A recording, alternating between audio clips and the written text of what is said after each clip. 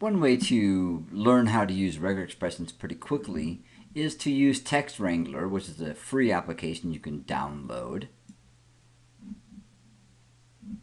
And you can do mock searches, practice searches, right in the document that you have here.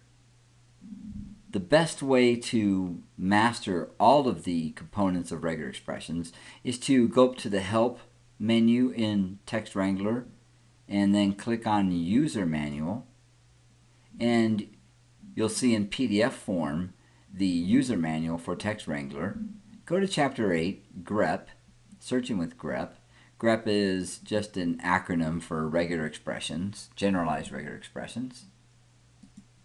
And in this chapter on regular expressions, you will find a whole bunch of information about regular expressions. So for instance, you can get more information on the wildcards that we talked about. Tons of different types of special characters you can use. You see character classes there again, and a whole bunch of other things that you can learn. In TextWrangler, you can also do a search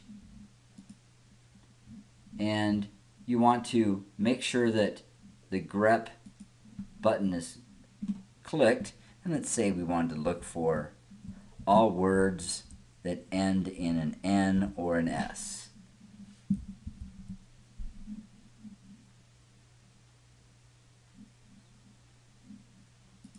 And that's going to give me a list of those words that end in an N or an S. Let me move up this window here. You can see that that word ends in an N.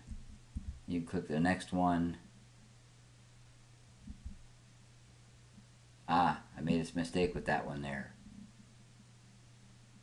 That doesn't end in an, that isn't a word that ends in an N or an S. So I probably should modify this little search here and say I want a space after that. And that'll guarantee.